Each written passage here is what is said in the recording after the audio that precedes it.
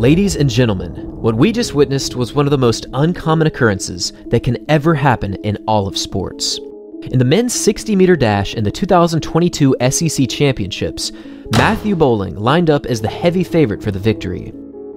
Just yesterday, he placed first in the qualifying round, running a new personal best of 6.59 seconds, a time that was 0.04 seconds faster than any other qualifier for the final.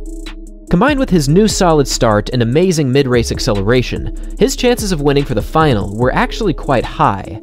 However, something else happened in this race that just might leave you speechless. After a much slower start, Boling was trailing far behind Dedrick Vanover from Florida, who in the qualifying round was the closest athlete to Matthew Boling.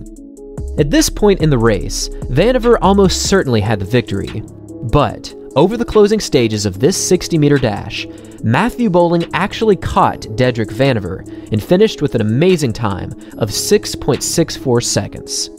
But the story does not end here, because amazingly, these two athletes actually finished in a dead tie, not to the hundredth of a second, but to the exact one thousandth of a second, which is truly one of the most uncommon things that can happen in track and field.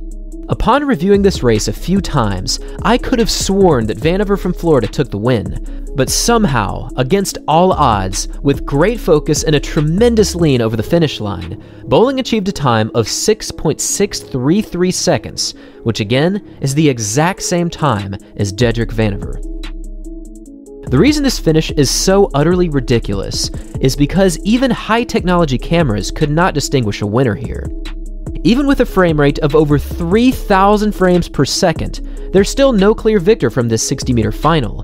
So, unlike any other race that's likely to take place in 2022, or any other year for that matter, there were two winners in this final. Absolutely amazing. Another reason this race holds so much significance is that, up to this point, Boling has been undefeated in any racing event this season, holding a perfect record in the 60 meter dash, the 200 meters, and also the 4x400 relay. And even though Dedrick Vanover achieved an amazing time with his 60, he technically didn't beat Matthew Boling, so I guess Matthew Boling is still undefeated in 2022. It's pretty weird to see this finish here, as they both have number 1 next to their name. My brain just kinda can't process this, it's just so bizarre. Even with his slower start, which can definitely be a huge problem in the 60 meter dash, Boling still held strong and came away with the W. Well, I guess this race would be more like a TW or something. Either way, it was impressive. Congrats to both athletes for an amazing race and a co victory in the 60 meter dash, and definitely keep your eye out for Dedrick Vanover this season. Thanks for watching, everyone, and as always, until next time.